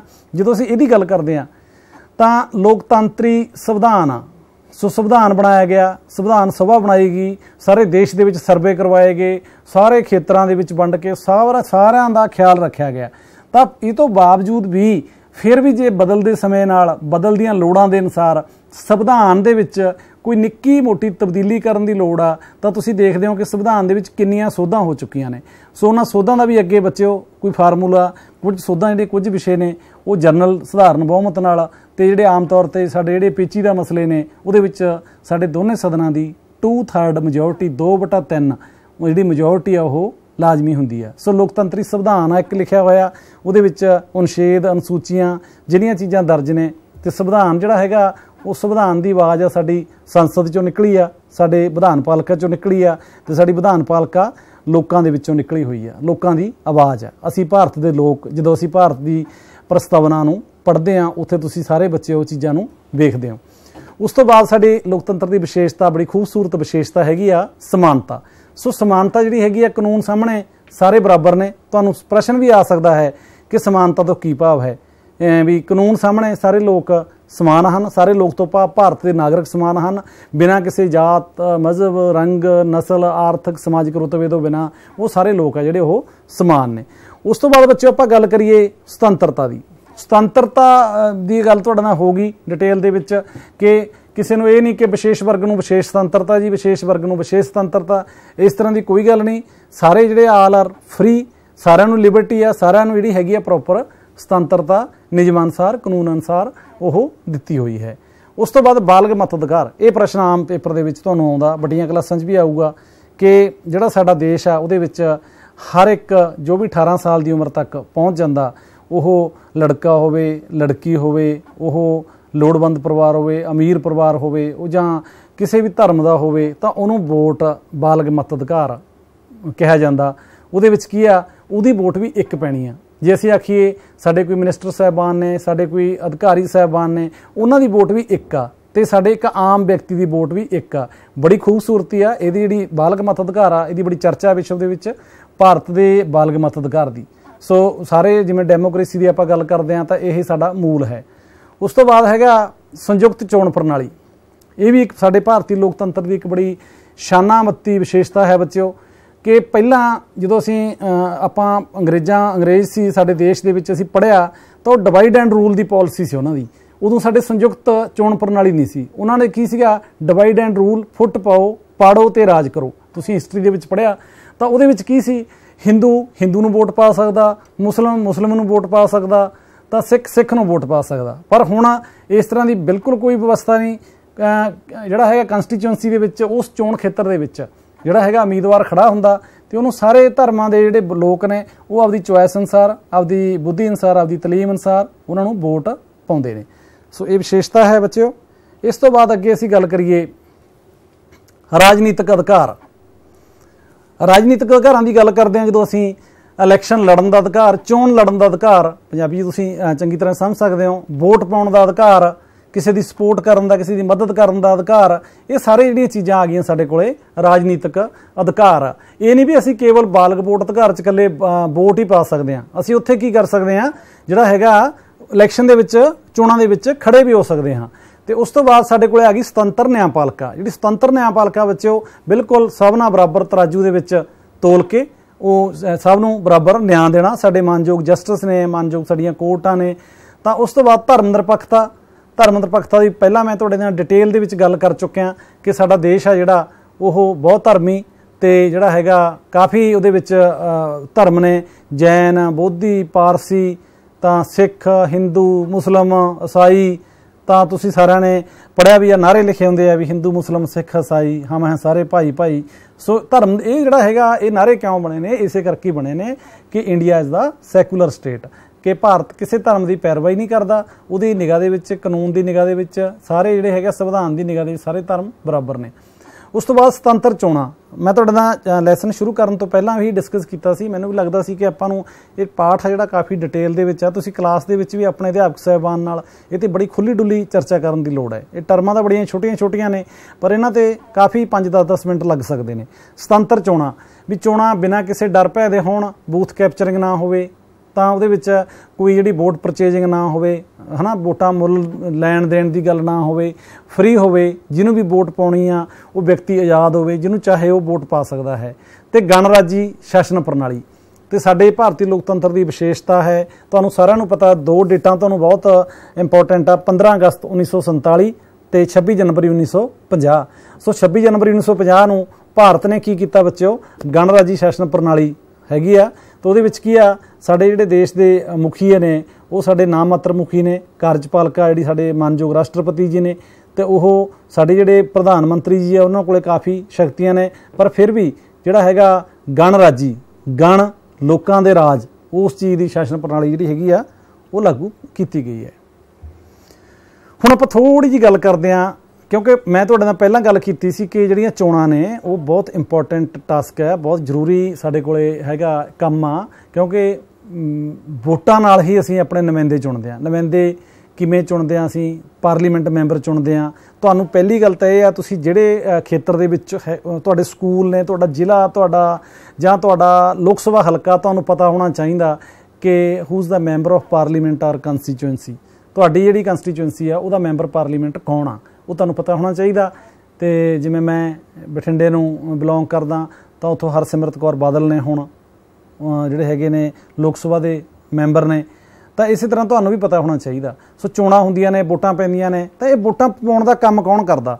ਇਹ ਵੋਟਾਂ ਪਾਉਣ ਦਾ ਕੰਮ ਬੱਚਿਓ ਚੋਣ ਕਮਿਸ਼ਨ ਵੱਲੋਂ ਕੀਤਾ ਜਾਂਦਾ ਹੈ। ਸੋ ਚੋਣ ਕਮਿਸ਼ਨ ਦੀ ਜਦੋਂ ਗੱਲ ਕਰਦੇ ਆ ਆ ਸਲਾਈਡ ਦੇ ਉੱਪਰ ਲਿਖਿਆ ਹੋਇਆ, ਤੇ ਤੁਹਾਡੇ ਇਹ ਨਾ ਆਪਾਂ ਪੇਪਰ ਦੀ ਦ੍ਰਿਸ਼ਟੀ ਤੋਂ ਕਾਫੀ ਚੀਜ਼ਾਂ ਨੇ ਕਿ ਸਾਡੇ ਤਿੰਨ ਮੈਂਬਰੀ, ਤਿੰਨ ਮੈਂਬਰ ਨੇ। 6 ਸਾਲ ਦਾ ਉਹਨਾਂ ਦਾ ਕਾਰਜਕਾਲ ਹੁੰਦਾ, ਰਾਸ਼ਟਰਪਤੀ ਵੱਲੋਂ ਨਿਯੁਕਤੀ, ਪਰ ਅਸਲ ਦੇ ਵਿੱਚ ਜਿਹੜੀ ਨਿਯੁਕਤੀ ਆ, ਇਹਦੇ ਵਿੱਚ ਇੱਕ ਪੈਨਲ ਬਣਿਆ ਹੋਇਆ ਹੋਣਾ। ਨਵੀਂ ਜਿਹੜੀ ਹੈਗੀ ਆ, ਉਹਦੇ ਵਿੱਚ ਸਾਡੇ ਮਾਨਯੋਗ ਪ੍ਰਧਾਨ ਮੰਤਰੀ ਜੀ ਨੇ, ਵਿਰੋਧੀ ਧਿਰ ਦੇ ਨੇਤਾ ਨੇ ਤੇ ਆਈ, ਚੀਫ ਜਸਟਿਸ ਆਫ ਇੰਡੀਆ, ਤਿੰਨ ਜਿਹੜਾ ਪੈਨਲ ਆ, ਉਹ ਰეკਮੈਂਡ ਕਰਦੇ ਨੇ। ਉਸ ਤੋਂ ਬਾਅਦ ਇਹਨਾਂ ਨੂੰ ਹਟਾਉਣ ਦੀ ਵਿਧੀ ਬਹੁਤ ਕਠਿਨ ਆ। ਇਹ ਨਹੀਂ ਕਿ ਚੋਣ ਕਮਿਸ਼ਨ ਆਪਾਂ 6 ਸਾਲ ਲਈ ਚੁਣ ਲਿਆ, ਉਦੋਂ ਬਾਅਦ ਫਰਜ਼ ਕਰੋ, ਜਿਹੜੀ ਸਾਡੀ ਰਾਜ ਕਰਦੀ ਪਾਰਟੀ ਆ, ਜਿਹੜੀ ਸਾਡੀ ਸੱਤਾਧਾਰੀ ਪਾਰਟੀ ਆ, ਉਹਨੂੰ ਲੱਗੇ ਵੀ ਨਹੀਂ, ਇਹ ਤਾਂ ਸਾਡੇ ਮੁਤਾਬਕ ਕੰਮ ਨਹੀਂ ਕਰ ਰਹੇ, ਇਹਨੂੰ ਹਟਾ ਦਿਓ। ਨਹੀਂ ਐਦਾਂ ਦੀ ਕੋਈ ਉਹ ਨਹੀਂ। 2/3 ਮੈਜੋਰਟੀ 2/3 ਦੋ ਤਿਹਾਈ ਬਹੁਮਤ ਨਾਲ ਹੀ ਉਹਨਾਂ ਨੂੰ ਹਟਾਇਆ ਜਾ ਸਕਦਾ। ਉਸ ਤੋਂ ਬਿਨਾ ਜਿਹੜੇ ਚੋਣ ਕਮਿਸ਼ਨ ਨੇ ਸਾਡੇ ਰਾਸ਼ਟਰਪਤੀ ਉਪ ਰਾਸ਼ਟਰਪਤੀ ਸੰਸਦ ਤੇ ਵਿਧਾਨ ਸਭਾ ਦੀਆਂ ਚੋਣਾਂ ਜਿਹੜੀਆਂ, ਉਹਨਾਂ ਦੇ ਕਰਾਉਣ ਦੇ ਵਿੱਚ ਆਪਣਾ ਮਹੱਤਵਪੂਰਨ ਯੋਗਦਾਨ ਪਾਉਂਦੇ ਨੇ। ਯੋਗਦਾਨ ਕਿਵੇਂ ਪਾਉਂਦੇ ਨੇ? ਕਿ ਉਹ ਕਹਿੰਦੇ ਨੇ ਕਿ ਹੁਣ ਭਾਈ ਤੁਸੀਂ ਕਾਗਜ਼ ਭਰੋ, ਸਾਰਾ ਆਮ ਚੋਣਾਂ ਦਾ ਜਾਂ ਸਟੇਟਾਂ ਦੀਆਂ ਚੋਣਾਂ ਦਾ ਉਹ ਐਲਾਨ ਕਰਦੇ ਨੇ ਪ੍ਰਕਿਰਿਆ ਦਾ। ਸੋ ਆ ਜਿਹੜੇ ਤੁਸੀਂ ਚਿਹਰੇ ਦੇਖ ਰਹੇ ਹੋ ਦੋ, ਇਹ ਬਹੁਤ ਚਰਚਿਤ ਚੋਣ ਕਮਿਸ਼ਨਰ ਰਹੇ ਨੇ, ਸਾਡੇ ਟੀ ਟੀਐਨ ਸ਼ੇਸ਼ਨ ਜੀ। ਇਹਨਾਂ ਦਾ ਬਹੁਤ ਵੱਡਾ ਰੋਲ ਆ। ਇਹਨਾਂ ਨੇ ਐਪਿਕ ਜਿਹੜੇ ਸੀਗੇ election photo identity card issue ਕਰਵਾਏ ਔਰ ਜਿਹੜੀ ਵੋਟਾਂ ਦੇ ਵਿੱਚ ਜਿਵੇਂ ਬੂਥ ਕੈਪਚਰਿੰਗ ਆ ਜਾਂ ਵੋਟ ਪਰਚੇਜਿੰਗ ਆ, ਜਿੰਨੀਆਂ ਵੀ ਬੁਰਾਈਆਂ ਸੀ, ਉਹਨਾਂ ਨੂੰ with the help of law ਕਾਨੂੰਨ ਦੀ ਮਦਦ ਦੇ ਨਾਲ ਖਤਮ ਕਰਨ ਦੀ ਕੋਸ਼ਿਸ਼ ਕੀਤੀ। ਤੇ ਦੂਜੀ ਸ਼ਖਸੀਅਤ ਆ ਸਰਦਾਰ ਮਨੋਹਰ ਸਿੰਘ ਜੀ ਗਿੱਲ ਇਹ ਵੀ ਇੱਕ ਬੜੇ ਇਹਨਾਂ ਨੇ ਇਸ ਇਹਨਾਂ ਨੇ ਟੀਐਨ ਸੈਸ਼ਨ ਤੋਂ ਬਾਅਦ ਅਹੁਦਾ ਸੰਭਾਲਿਆ। ਇਹ ਰਹੇ। ਇਹਨਾਂ ਨੇ ਜਿਹੜੀਆਂ ਇਲੈਕਟ੍ਰੋਨਿਕ ਵੋਟਿੰਗ ਮਸ਼ੀਨ ਸੀ, ਉਹ ਇਹਨਾਂ ਦੇ ਕਾਰਜਕਾਲ ਦੇ ਵਿੱਚ ਆਈਆਂ। ਇਹ ਦੋਨੇ ਹਸਤੀਆਂ ਨੇ ਕਾਫੀ ਜਿਹੜਾ ਹੈਗਾ ਚੋਣ ਕਮਿਸ਼ਨ ਦੇ ਤੌਰ ਤੇ ਜਿਹੜਾ ਹੈਗਾ ਕੰਮ ਕੀਤਾ। ਹੁਣ ਆਪਾਂ ਅੱਗੇ ਗੱਲ ਕਰੀਏ ਭਾਰਤ ਵਿੱਚ ਚੋਣ ਪ੍ਰਕਿਰਿਆ ਦੇ ਪੜਾਅ। ਤਾਂ ਸਭ ਤੋਂ ਪਹਿਲਾਂ ਕੀ ਹੁੰਦਾ? ਚੋਣ ਖੇਤਰ ਨਿਸ਼ਚਿਤ ਹੁੰਦਾ ਵੀ ਇੰਨੇ ਪਿੰਡ ਆ, ਇੰਨੇ ਸ਼ਹਿਰ ਆ ਇਹ ਇਸ ਚੋਣ ਖੇਤਰ ਦੇ ਵਿੱਚ ਪੈਂਦੇ ਨੇ। ਉਸ ਤੋਂ ਬਾਅਦ ਆਪਣੇ ਕਹਿੰਦੇ ਆ ਵੋਟਰ ਸੂਚੀਆਂ। ਪਰ ਆਪਾਂ ਇੱਥੇ ਜਿਹੜਾ ਹੈਗਾ ਮਤਦਾਤਾ ਸੂਚੀ, ਉਹ ਬਣਾਉਂਦੇ ਕੌਣ ਆ? ਬੀਐਲਓ ਜਾਂ ਸਾਡੇ ਰਿਟਰਨਿੰਗ ਅਫਸਰ ਹੁੰਦੇ ਨੇ ਬੀਐਲਓ ਬੂਥ ਲੈਵਲ ਅਫਸਰ ਹੁੰਦੇ ਨੇ। ਉਸ ਤੋਂ ਬਾਅਦ ਸਾਡੇ ਮਾਨਯੋਗ ਐਸਡੀਐਮ ਸਾਹਿਬਾਨ ਡੀਸੀ ਸਾਹਿਬਾਨ, ਉਹ ਸਾਰੇ ਇੱਕ ਬੜੀ ਟਰਾਂਸਪੇਰੈਂਟ ਫੇਅਰ ਅੱਜ ਕੱਲ ਤੁਸੀਂ ਪਤਾ ਕਰਿਓ ਬੀਐਲਓ ਤੋਂ ਬੜਾ ਆਨਲਾਈਨ ਕੰਮ ਆ। ਇਹ ਸੂਚੀ ਤਿਆਰ ਹੁੰਦੀ ਆ, ਫਿਰ ਚੋਣ ਮਿਤੀ ਦਾ ਐਲਾਨ ਹੁੰਦਾ।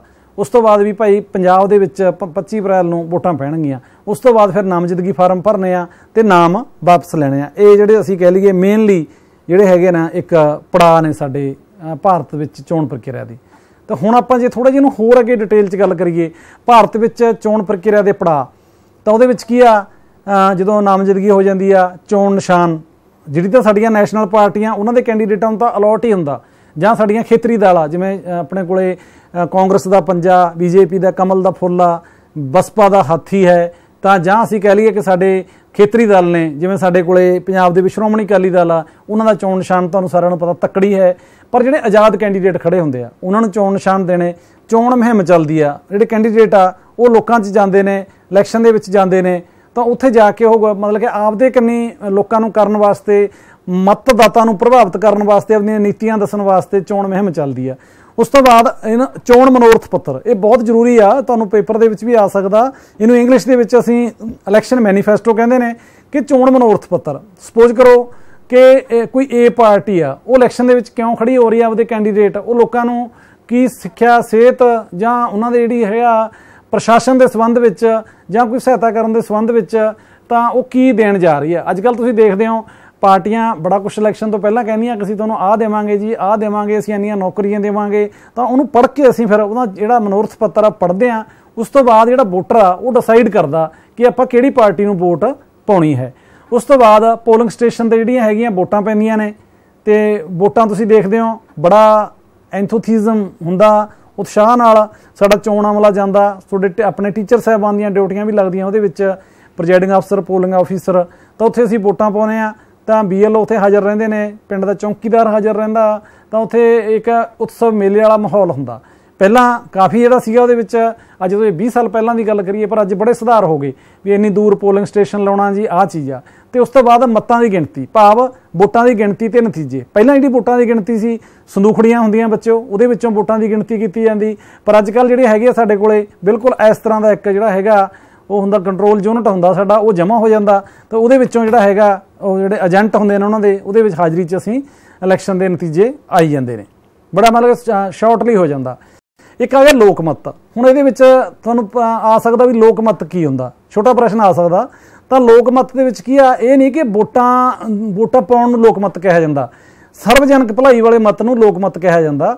ਜਿਹਦੇ ਜਿਹਦੇ ਵਿੱਚ ਕੀ ਹੋਵੇ? ਲੋਕਾਂ ਦਾ ਭਲਾ ਹੋਵੇ। ਸਰਬੱਤ ਦਾ ਭਲਾ ਚਾਉਣ ਵਾਲਾ ਮਤ ਹੀ ਲੋਕ ਮਤ ਹੁੰਦਾ, ਜਿਹਦੇ ਵਿੱਚ ਸਾਰੀਆਂ ਧਿਰਾਂ ਦਾ, ਸਾਰਿਆਂ ਦਾ ਖਿਆਲ ਹੋਵੇ।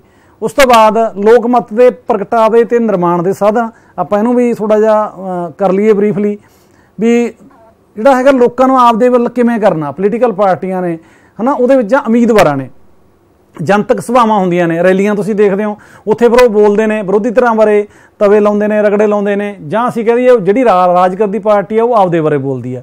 ਉਸ ਤੋਂ ਬਾਅਦ ਸਾਡੇ ਰਾਜਨੀਤਿਕ ਦਲ ਉਹ ਦੱਸਦੇ ਨੇ ਵੀ ਸਾਡਾ ਭਾਈ ਪਾਰਟੀ ਆ ਆ ਅਸੀਂ ਸੈਕੂਲਰ ਆ ਆ ਚੀਜ਼ਾਂ ਕਰ ਰਹੇ ਆ। ਉਸ ਤੋਂ ਬਾਅਦ ਕੀ ਆ?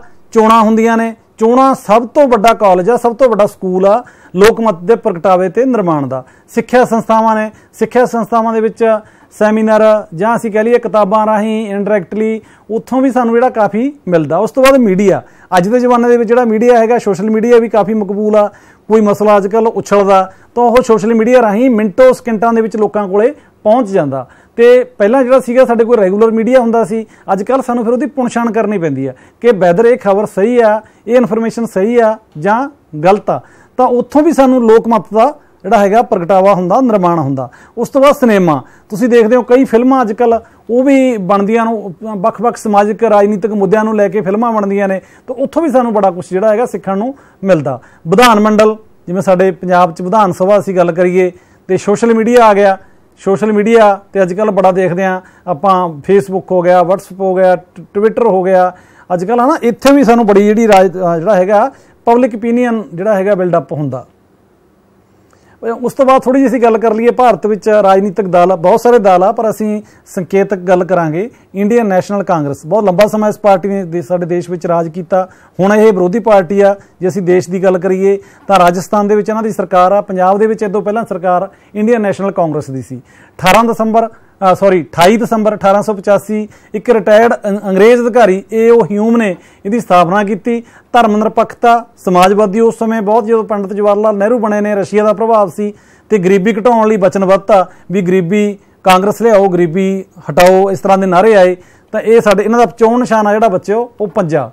ਉਸ ਤੋਂ ਬਾਅਦ ਸਾਡੇ ਕੋਲ ਜਿਹੜੀ ਹੁਣ ਹੈਗੀ ਆ ਸੱਤਾਧਾਰੀ ਪਾਰਟੀ ਦੇਸ਼ ਦੇ ਵਿੱਚ, ਭਾਰਤੀ ਜਨਤਾ ਪਾਰਟੀ। ਇਹਦੇ ਵਿੱਚ 21 ਅਕਤੂਬਰ 1951 ਨੂੰ ਜਨਸੰਘ ਦੇ ਨਾਂ ਦੇ ਤੌਰ ਤੇ ਪਾਰਟੀ ਦਾ ਗਠਨ ਹੋਇਆ।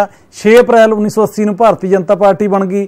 1998 ਵਿੱਚ ਪਹਿਲੀ ਵਾਰ 16 ਹਮਖਿਆਲ ਪਾਰਟੀਆਂ ਨਾਲ ਐਨਡੀਏ ਨੈਸ਼ਨਲ ਡੈਮੋਕ੍ਰੈਟਿਕ ਅਲਾਈਅੰਸ ਕੌਮੀ ਜਮਹੂਰੀ ਗੱਠਜੋੜ ਦੇ ਤਹਿਤ ਅਟਲ ਬਿਹਾਰੀ ਵਾਜਪਾਈ ਜੀ ਦੀ ਅਗਵਾਈ 'ਚ ਸਰਕਾਰ ਬਣੀ। ਪਰ ਉਹ ਸਰਕਾਰ ਸੀ ਜਿਹੜੀ ਉਹ ਅ, ਖਿੱਚੋਤਾਣ ਹੋ ਗਈ ਵੱਖ-ਵੱਖ ਦਲਾਂ ਨੂੰ। ਬੜਾ ਸਮਾਂ ਚੱਲ ਨਹੀਂ ਸਕੀ। 13 ਮਹੀਨੇ ਬਾਅਦ ਟੁੱਟ ਗਈ। ਪਰ ਹੁਣ ਜਿਹੜੇ ਇਹਨਾਂ ਦੇ ਨਰਿੰਦਰ ਮੋਦੀ ਜੀ ਪ੍ਰਧਾਨ ਮੰਤਰੀ ਨੇ, ਉਹਨਾਂ ਦੀ ਦੂਜੀ ਪਾਰੀ ਉਹ ਚਲਾ ਰਹੇ ਨੇ। ਤਾਂ ਉਸ ਤੋਂ ਬਾਅਦ ਸਾਡੇ ਕੋਲ ਸੀਪੀਆਈ ਆ, ਭਾਰਤੀ ਕਮਿਊਨਿਸਟ ਪਾਰਟੀ ਆ, ਉਹਦੇ ਵਿੱਚ 1924 ਚ ਹੋਇਆ। ਉਹ ਪਹਿਲਾਂ ਮਾਰਕਸਵਾਦੀ, ਲੈਨਨਵਾਦੀ ਵਿਚਾਰਧਾਰਾ ਤੋਂ ਪ੍ਰਭਾਵਿਤ ਸੀ। ਆਰਥਿਕ ਤੇ ਸਮਾਜਿਕ ਬਰਾਬਰੀ ਦਾ ਨਾਰਾ ਦਿੱਤਾ ਵੀ ਸਾਰੇ ਜਿਹੜੇ ਲੋਕ ਨੇ, ਉਹ ਇੱਕ ਲੰਗਰ, ਇੱਕ ਥਾਂ ਹੀ ਬਹਿ ਕੇ ਜਿਵੇਂ ਸਾਡੇ ਗੁਰੂ ਸਾਹਿਬਾਨ ਨੇ ਨਾਰਾ ਦਿੱਤਾ ਸੀ। 1957 ਵਿੱਚ ਕੇਰਲਾ 'ਚ ਪਹਿਲੀ ਗੈਰ ਕਾਂਗਰਸੀ ਸਰਕਾਰ ਬਣੀ, ਇਹ ਵੀ ਅਸੀਂ ਦੇਖਦੇ ਹਾਂ। ਤਾਂ ਉਸ ਤੋਂ ਬਾਅਦ ਭਾਰਤ 'ਚ ਰਾਸ਼ਟਰੀ ਰਾਜਨੀਤਿਕ ਦਲ। ਉਸ ਤੋਂ ਬਾਅਦ ਸਾਡੇ ਆਮ ਆਦਮੀ ਪਾਰਟੀ, ਇੱਕ ਨਵੀਂ ਪਾਰਟੀ ਆ। ਨਵੰਬਰ 2012 ਦੇ ਵਿੱਚ ਗਠਨ ਹੋਇਆ, ਬੜੀ ਤੇਜ਼ੀ ਨਾਲ ਉੱਭਰੀ ਦੇਸ਼ ਦੇ ਦ੍ਰਿਸ਼ ਦੇ ਵਿੱਚ ਇਹ। ਤਾਂ ਅਰਵਿੰਦ ਕੇਜਰੀਵਾਲ ਜੀ ਇਹਨਾਂ ਦੇ ਸੁਪਰੀਮੋ ਨੇ, ਇਹਨਾਂ ਨੇ ਭ੍ਰਿਸ਼ਟਾਚਾਰ ਤੋਂ ਮੁਕਤੀ ਤੋਂ ਸ਼ੁਰੂ ਕੀਤੀ। ਇਹ ਜਿਹੜਾ ਹੈਗਾ ਭ੍ਰਿਸ਼ਟਾਚਾਰ ਅੰਦੋਲਨ ਦੇ ਵਿੱਚੋਂ ਨਿਕਲੀ ਪਾਰਟੀ ਆ, ਉਸ ਤੋਂ ਬਾਅਦ ਇਹਦੀਆਂ ਹੁਣ ਦਿੱਲੀ ਦੇ ਵਿੱਚ ਦੂਜੀ ਵਾਰੀ ਆ, ਪੰਜਾਬ ਦੇ ਵਿੱਚ ਭਗਵੰਤ ਸਿੰਘ ਜੀ ਮਾਨ ਦੀ ਅਗਵਾਈ ਹੇਠ ਸਰਕਾਰ ਆ, ਗੋਆ ਤੇ ਗੁਜਰਾਤ ਵਿੱਚ ਚੰਗੀ ਕਾਰਜਕਾਰੀ ਦਿਖਾਈ, ਵੋਟ ਸ਼ੇਅਰਿੰਗ ਆ ਜਿਹੜੀ, ਵੋਟ ਪਰਸੈਂਟੇਜ ਦੇ ਆਧਾਰ ਤੇ ਇਲੈਕਸ਼ਨ ਕਮਿਸ਼ਨ ਆਫ ਇੰਡੀਆ ਨੇ ਇਹਨੂੰ ਨੈਸ਼ਨਲ ਪਾਰਟੀ ਦਾ ਦਰਜਾ ਦਿੱਤਾ। ਉਸ ਤੋਂ ਬਾਅਦ ਸਾਡੇ ਕੋਲ ਹੋਰ ਰਾਜਨੀਤਿਕ ਪਾਰਟੀਆਂ ਨੇ, ਬਹੁਜਨ ਸਮਾਜ ਪਾਰਟੀ, ਜਿਨ੍ਹਾਂ ਦਾ ਚੋਣ ਨਿਸ਼ਾਨ ਹਾਥੀ ਹੈ ਸ਼੍ਰੋਮਣੀ ਅਕਾਲੀ ਦਲ ਤੱਕੜੀ ਹੈ ਨੈਸ਼ਨਲ ਕਾਨਫਰੰਸ ਆ ਅਸਮ ਗਣ ਪਰਿਸ਼ਦ ਆ, ਰਾਸ਼ਟਰੀ ਜਨਤਾ ਦਲ ਆ, ਇਹ ਸਾਡੀਆਂ ਹੈਗੀਆਂ। ਸੋ ਵਿਰੋਧੀ ਧਿਰ ਦੀ ਜਿਹੜੀ ਭੂਮਿਕਾ ਦੀ ਮੈਂ ਥੋੜੀ ਤੁਹਾਡੇ ਨਾਲ ਗੱਲ ਕਰ ਲਾਂ ਇੱਕ ਮਿੰਟ ਦੇ ਵਿੱਚ, ਕਿਉਂਕਿ ਆਪਣਾ ਟਾਈਮ ਹੋ ਗਿਆ। ਸਰਕਾਰ ਦੀ ਲੋਚਨਾ ਸਰਕਾਰ ਨਾਲ ਸਹਿਯੋਗ, ਲੋਕਾਂ ਨੂੰ ਰਾਜਨੀਤਿਕ ਸਿੱਖਿਆ, ਸਰਕਾਰ ਨੂੰ ਤਾਨਾਸ਼ਾਹੀ, ਸਰਕਾਰ ਦੀ ਤਾਨਾਸ਼ਾਹੀ ਰੋਕਣਾ, ਜਨਤਕ ਸ਼ਿਕਾਇਤਾਂ ਨੂੰ ਪ੍ਰਗਟ ਕਰਨਾ, ਬਦਲਵੀਂ ਸਰਕਾਰ ਦਾ ਪ੍ਰਬੰਧ ਤੇ ਵਿਧਾਨਕ ਕੰਮਾਂ ਦੇ ਵਿੱਚ ਭੂਮਿਕਾ। ਆ ਸਾਡੇ ਦੇਸ਼ ਦੀ ਆਪਾਂ ਕਹਿ ਲਈਏ ਲੋਕਤੰਤਰ ਦਾ ਮੰਦਰ ਆ, ਲੋਕਤੰਤਰ ਦਾ ਸਭ ਤੋਂ ਜਿਹੜਾ ਹੈਗਾ ਮੁਕੱਦਸ ਸਥਾਨ ਆ ਸਾਡੇ ਦੇਸ਼ ਦੀ ਪਾਰਲੀਮੈਂਟ ਆ। ਤੇ ਇਹ ਆਪਣਾ ਲੈਕਚਰ ਸੀ ਬੱਚਿਓ।